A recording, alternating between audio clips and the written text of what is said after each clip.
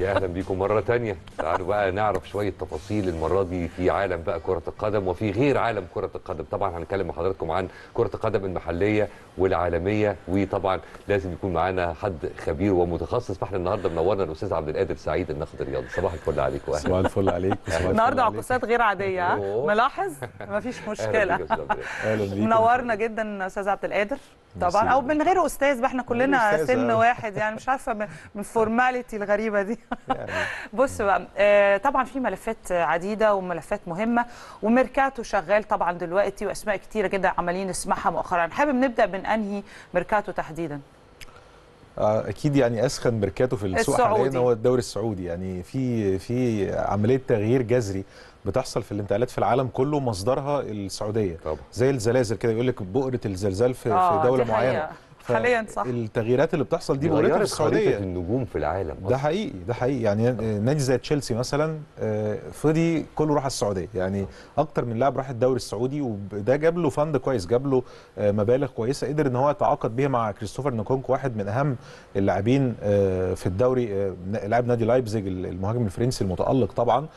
فده جاب له فلوس إن هو يقدر يعمل كده. نادي برشلونة نفسه حد يتفاوض معاه من السعودية لأن عنده أزمة مالية كبيرة مم. جدا.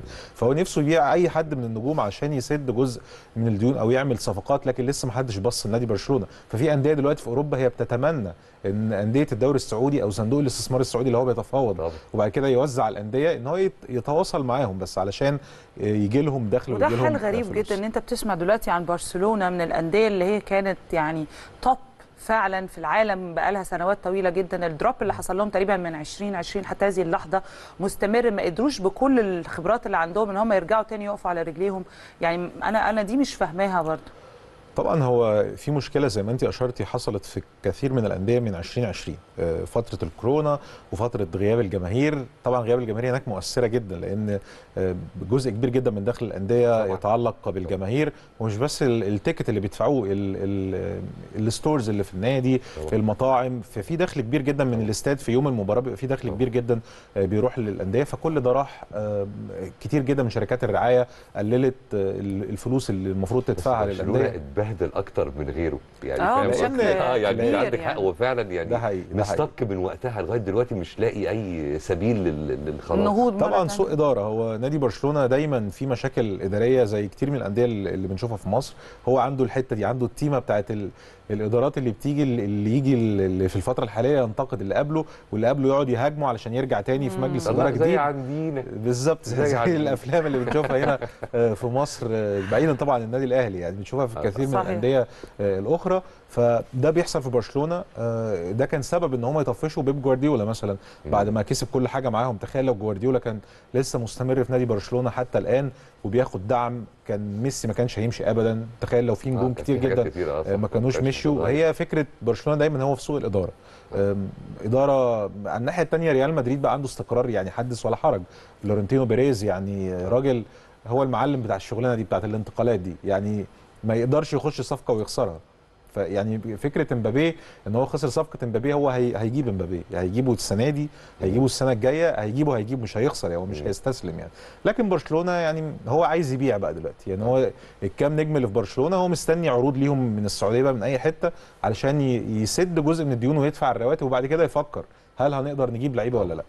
جميل. طيب تعالى بقى يعني هنرجع مرة تانية للميركاتو العالمي بس خلينا بقى دلوقتي في, في آخر في الميركاتو صفقتين. المصري أيوه الشغل المحلي بقى بتاعنا وعندنا صفقتين كانوا حديث المدينة طول الفترة اللي فاتت وأثاروا جدل واسع وطبعا بتكلم على رضا سليم وعلى إمام عاشور فرؤيتك إيه للصفقتين دول؟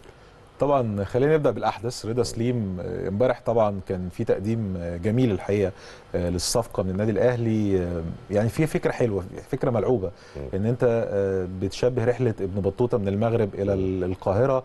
وبعد كده تجيب لاعب من المغرب إلى القاهرة وتقول إن دي رحلة جديدة. فهي فكرة لطيفة عجبتني شبه ال- اللي بيحصل آه، في تقديم الصفقات في أوروبا. يعني دايما هم بيعملوا حاجات في أوروبا طبعا بيبقى انتاج ضخم جدا كأنهم بيعملوا فيلم. يعني آه، ممكن طبعاً. آه، يعملوا فيلم قصير. آه، كده شوف إحنا الصفقه بفلوكا ملايين. عملنا إيه؟ بالظبط فلوكا في النيل.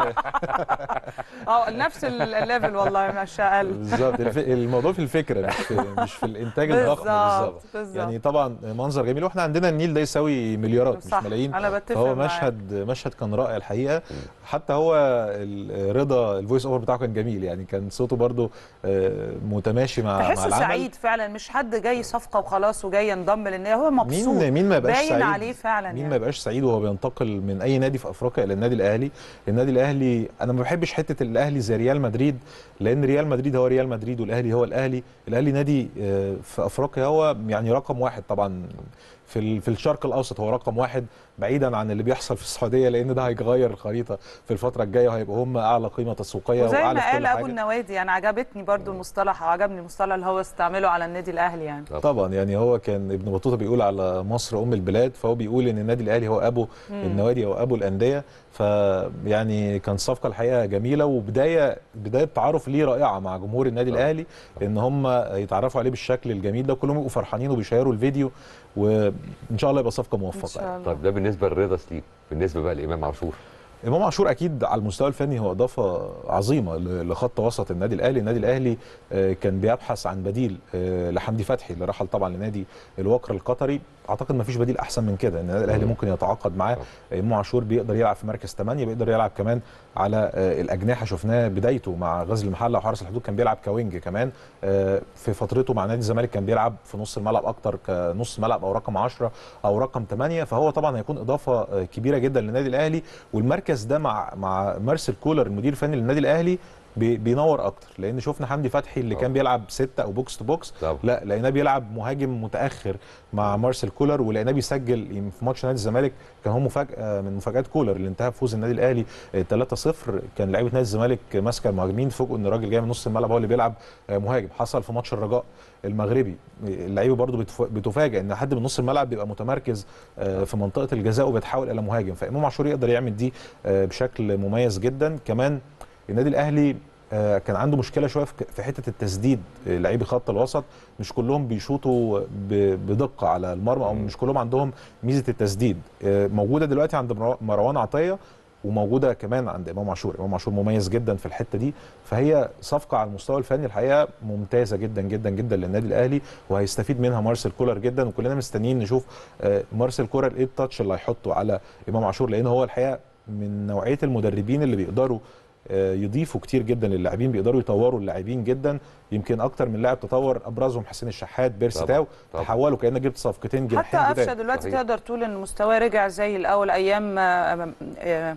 موسيماني لا أيام موسيماني ومحمد. شريف الثنائي اللي كنا دايما نقول قفشه وشريف خلاص الماتش كده اتضمن الفترة دي كانت قوية آه، جدا آه، يمكن قفشه كمان هيزيد الموسم اللي جاي أنا متوقع كده لأن هو هياخد فرصة أكبر الموسم اللي جاي آه، شفناه في ماتش الداخلية مثلا كان آه، تقريبا man of the match آه، مجدي قفشة طبعا آه، عمل assist آه، رائع، حلو رائع. وسجل هدف أكثر روعه. يعني الهدف اللي. سجله الحقيقة آه، فكرني بجول رونالدو في, تركيا في كأس العالم 2002 في ال semi final هو التاني لعبها بسن رجله ده لعبها ببطن رجله بس هو يعني ضحك على الجول أو ضحك. على الحارس مم. فجأة كده وهو بيجري بيلاقي الكرة طلعت من رجله آه، اتشاطت آه، على المرمى فهو كان كان ده بين اللي عن عندهم ذكاء المهارات بتاع كمان المسافات ال- ال- عارف ال- التحرك المساحات الضيقة آه، كمان يعني هو ال dribbling على عنده كويس في في دي. الحرفنة وال.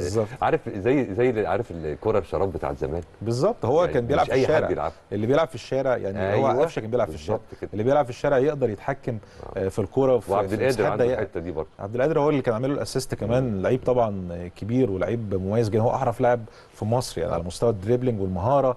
والواحد على واحد لا يعدي من أي حد يعني مفيش حد في مصر يقدر يوقفه. هو طبعا محتاج يتطور في في كثير من الأشياء زي ما كل لاعب محتاج يتطور إن هو يقدر يخلي المهارة بتاعته دي تبقى متعددة الجوانب يعني. متعددة الجوانب ويقدر كمان يساعد بيها يحولها لشكل جماعي مع الفريق. مش دايما يبقى الحل الفردي هو الحل الأمثل. أنا بالنسبة لي بحب الحل الفردي يعني أنا بحب أتفرج على كوره حلوة. بالظبط. لكن مش أي وقت تعمله يعني لأن ممكن تبقى فريقك آه، متقدم بهدف ومضغوط ممكن فريقك يبقى خسران فلازم ساعتها تختار الحلول الجماعية وتختار إن أنت تسجل أكتر ما تختار إن أنت تمتع نفسك. أنا بحب اللاعب اللي بينزل عايز يتبسط يعني عايز يعمل ترقيصة حلوة عايز يعمل جول حلو بس ده ما يكونش على حساب آه، العمل الجماعي للفريق. فهو عبد القادر لو ظبط الحتة دي هيكون أحسن لاعب في مصر وهيكون أساسي آه، في منتخب مصر إن شاء الله.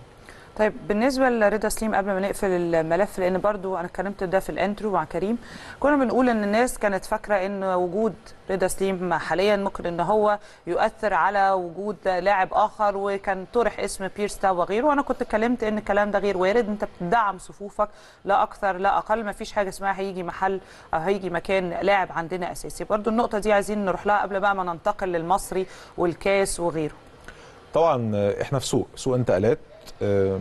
يمكن يجي عرض للنادي الأهلي برقم لا يمكن رفضه. آه، فالنادي الأهلي يوافق أو النادي الأهلي يرفض. دي في النهاية تعود إلى مارسيل كولر. ولجنه الكورة وإدارة. النادي الأهلي بالظبط لكن هل رضا سليم جاي عشان بيرس تاو ماشي لا طبعا رضا سليم مم. جاي علشان النادي الأهلي محتاج يدعم صفوفه ناس كتير قوي تقول أنت مش محتاج دعم أنت عامل كل حاجة النادي الأهلي كسبان كل البطولات تقريبا مش تقريبا كل البطولات فعلا اللي شارك طبعا. فيها طبعا. الموسم اللي فات خمس بطولات. شارك فيها النادي الأهلي كسبها باستثناء كأس العالم للأندية مش مرشحين حتى الآن يعني إحنا ان إحنا نكسب كأس العالم للأندية كأي نادي مصري لكن بقية الأندية كل بقية البطولات كلها النادي الأهلي كسبها لكن ده ما يخلكش إن أنت تقول أنا مش محتاج حاجة بالعكس. آه، فالنادي الأهلي بيدعم علشان يحافظ على اللي عمله لأن خلي بالك الموسم اللي جاي هيبقى صعب جدا جدا. آه لأن. أنت آه، الكل هيبقى متحفز ضدك. إيه النادي اللي كسب كل حاجة ده؟ فإحنا نحاول إن إحنا نوقفه. زي دايما أي نادي في مصر لما كان من زمان من قديم الأزل لما يجي لهم النادي الأهلي بقى في المنصورة في طنطا في بنها في أي ملعب في المحافظات اسماعيليه أسوان هو دايما عايز يوقف النادي الأهلي. هي البطولة عنده إن هو يكسب النادي الأهلي أو ياخد نقطة من النادي الأهلي ويقول آه، يبقى ماشي كده مع أصحابه في في المنطقة اللعيب أو يبقى ماشي مع أهله إحنا كسبنا النادي الأهلي آه، أنا حطيت هدف في النادي الأهلي أو حطيت جول في النادي الأهلي. فهو ده ال- ده الموسم الجديد هيبقى كده. النادي هو الاهلي الموسم الجديد باين أهو. صورة إيه يعني؟ ال chemistry ما بين اللعيبة والصفقات الجديدة وخصوصا إمام عاشور وعلاقته القوية بين كهربا ومع قفشة مع معظم اللعيبة آه، حلوة ولقت استحسان كبير كمان مع الجماهير. الاندماج ده مطلوب جدا والسرعة في الاندماج كمان. طبعا هو إمام كمان ذكي إن هو آه، بالكام صورة اللي عملهم أو كام آه، موقف اللي عمله على ال social media فهو كسب آه، جزء كبير جدا من جمهور النادي الأهلي. فهو واضح إنه لاعب ذكي رغم إن الاثنين بيتنافسوا على نفس المركز تقريبا الاثنين ممكن يلعبوا 10 يعني مركز مم. 10 ومركز أيوة. صانع الألعاب لكن آه، قفشة كمان من اللعيبة الطيبين أو اللي هو يعني ما عندوش مشكلة مع حد متصالح مع نفسه متصالح مع الدنيا كلها فهو لقطة جميلة كبير يعني. على فكرة واثق في نفسه وفي قدراته طبعا اللاعب اللي هتلاقيه شاكك في نفسه شوية تلاقيه بيعمل آه، مشاكل. في لعيبه عندها إيجو. بقى وحاجات زي بالظبط. في لعيبه عندها إيجو عالي قوي اللي هو أنت مين عشان تلعب مكاني؟ أو طبعا. سمعت في إن لعيبة كتير حصلت لعيبه يعني. شخصياتها قبل ما تيجي تنضم في الأندية بتاعتها السابقة قبل ما تيجي تنضم للنادي الأهلي بتكون شخصية ولما بتنضم للنادي الأهلي شخصية تانية خالص وأمثلة من ده كتير يعني. فبتلاقي شخصية بقت رزينة بقى أعقل بقى في فكر احترافي أكتر أسلوب مختلف ده باين في أكتر من صفقة كمان هو. الأهم من الشخصية السيستم اللي بيتحط فيه الشخصية دي طبعا. يعني مثلا مثال عادي جدا ناس ممكن تبقى حياتها شاب مثلا حياته منفلت شوية مم. فيخش الجيش يتعلم الانضباط آه، هو. النادي الأهلي. كده النادي الأهلي هو بيعلم لو في لاعب مثلا هو عنده انفلات من نوع آخر يعني أو من نوع ما بيخش النادي الأهلي بيتعلم الانضباط لأن بيتعلم هو لو ما التزمش مش هيبقى ليه مكان في النادي الأهلي طبعاً، ما عندناش ده خالص طبعا وحصلت أمثلة. كتير بدون ذكر أسماء. لعيبة كتير دخلوا النادي الأهلي ما كانوش شبه النادي الأهلي فمشوا على طول ما خدوش. أي فرص. لكن في لعيبة كتير برضو دخلت النادي الأهلي واتغيرت وكانوا صحيح. إضافة مميزة. تعالى بقى نرجع مرة تانية لل- للميركاتو العالمي ومسألة الانتقالات والكلام اللي كان برضو يعني رايح جاي كتير وتلقيح متبادل بين مبابي وبين القائمين على باريس سان جيرمان. وناس كتير بتحاول تتكهن يا ترى هتبقى وجهته اللي جاية فين؟ في ضوء ال ال ال القلق اللي كان حاصل الفترة الأخيرة أنت شايف إيه؟ تحسها مشكلة دوري مصري برضو شوية يعني مش متعودين مش متعودين في أوروبا نلاقي نادي بيتخانق مع لاعب ولاعب بيتخانق مع نادي وما يروحش التمرين. رايحة طبعاً. جاية و... وحصلت أكتر من مرة مؤخرا حصلت كريستيانو وتين هايج وحصلت دلوقتي بين ناصر الخليفي الأونر طبعا ومبابي يعني غريبة شوية بس هو أعلاهم أو أكثرهم صخبا حالة امبابي يعني مبابي بالظبط. يعني, يعني ال- رونالدو كان في آخر أيامه في, في. في أوروبا. وما كانش مؤثر بالدرجة الكبيرة يمكن جمهوره يزعل مني دلوقتي لكن هو كان خلاص في نهاية مسيرته. رونالدو دلوقتي في نهاية مسيرته أنا بعتبره هو وميسي اعتزلوا بس هم بيلموا فلوس بس قبل ما يقعدوا في البيت يعني. لكن مبابي لا مبابي لسه وأي فلوس؟ فلوس فلوس مش هيعرفوا يصرفوها يعني. ممكن يشتروا ممكن أندية. في صرفها لو حد طلب مننا. بالظبط عندنا خطة موجودين محكمة يعني. لصرفها عندنا خطط كتير مميزة. هم يجوا بس. فهم ممكن يشتروا أندية أصلا بالفلوس دي. طبعاً. يعني السعودية طبعاً. اشترت نيوكاسل ب 300 مليون يورو. آه، رونالدو المرتب اللي هياخده في الفترة دي أكتر من اللي اتدفع في نادي نيوكاسل. فهو هو رونالدو already عنده business كبير جدا طبعا. في كتير من المجالات. وميسي بيحاول يعمل كده كمان في آه، صفقته مع آه، في. الدوري الأمريكي. إنتر ميامي دخل في أرباح كثير من الشركات. مش عايز أقول اسمها برضه عشان ما يكونش في إعلانات لكن هو ده ال business دلوقتي. لكن مبابي لا مبابي هو يعني متوقع. لسه لسه بدري كمان متوقع. ولسه قدامه سنوات طويلة في الملاعب يعني. متوقع يكون هو النجم اللي بيكسب ال Ballon d'Or في السنين اللي جاية كلها. ممكن. يمكن ينافسه هالاند يمكن ينافسه بيلينجهام يمكن ينافسه حد تاني. فيل فودن مثلا آه، واحد من المواهب الواعدة جدا في الدوري الإنجليزي ومانشستر سيتي. فهو مبابي هو تقريبا رقم واحد دلوقتي آه، في الكرة العالمية. بعد خفوت نجم ميسي ورونالدو هو رقم واحد دلوقتي. مع هالاند يمكن بس هو من وجهة نظري لا هو أفضل من هالاند كنجم كبير طبعا في الكرة لاعب متكامل. هالاند آه، آلة تهديف هالاند وخلي بالك هالاند الم- المواسم اللي جاية هتلاقيه حاجة تانية كمان مع بيب جوارديولا لأن جوارديولا برضو حاجة بيطور تانية أكتر من اللي هو عليه. حاجة تانية أكتر بكتير. وهيطير. خلي بالك الموسم اللي فات كان جوارديولا بيطلعه لما يجيب ثلاث اجوان يطلعه بين الشوطين. آه. فهم لما سألوه حد قال ده مش عايزه يكسر رقم ميسي مثلا في دوري الأبطال فهو قال لا لو كسر الأرقام دي دلوقتي هيعمل إيه المواسم اللي جاية؟ فهو عايز يعمل له آه، حوافز ودوافع كمان المواسم اللي جاية وعايز يطوره. ما يبقاش بس فكرة المهاجم اللي هو في ال box مستني الكورة علشان يعمل finish لا آه، هتلاقيه بيشارك. في بناء اللعب زي زي أي لعيب صغير في في الحجم أيوة. زي ميسي. لكن هو طبعا اللعيب ال- القوي في الحجم ده بيبقى جوه ال box دايما بيخبط ويستنى الكورة وكده. لكن نرجع تاني لمبابي. هو طبعا آه، مشكلة كبيرة إن هو عايز يمشي من باريس يروح ريال مدريد ريال مدريد نفس الأزمة اللي اتكلمنا عنها. في برشلونة هي عنده بس بشكل أخف شوية فريال مدريد مش عايز يدفع 250 مليون يورو. فهم بيلعبوا لعبة شوية برضو شبه اللي بتحصل في الانتقالات عندنا في مصر إن ريال مدريد عايز يستنى السنة دي تخلص وياخده ببلاش. فباريس قال لا طب أنا دافع لك طبعا آه، فلوس غير طبيعية. وبعدين ده صحيح. في شهر 8 دلوقتي هياخد كمان مكافأة ولاء مش فاكر 70 أو 80 طبعا. مليون يورو. طبعا. فإزاي أنا بدفع لك الفلوس؟ دي كلها عشان أنت تمشي؟ طب إحنا كلنا ولاء وانتماء أقسم بالله. أنت لو بص لو عصرتنا هنشر ولاء. يعني ليه إيه؟ ليه كده؟ ليه ليه كده؟ إحنا مش في المنظومة دي؟ يعني حظنا إحنا ممكن يعني. ناخد 70000 جنيه على مش 70 مليون. خليهم يورو طيب. أيوه صحيح فيعني هم خايفين الضخمة يخسروا دي أفسدت كرة القدم ولا بالعكس زودت من المتعة؟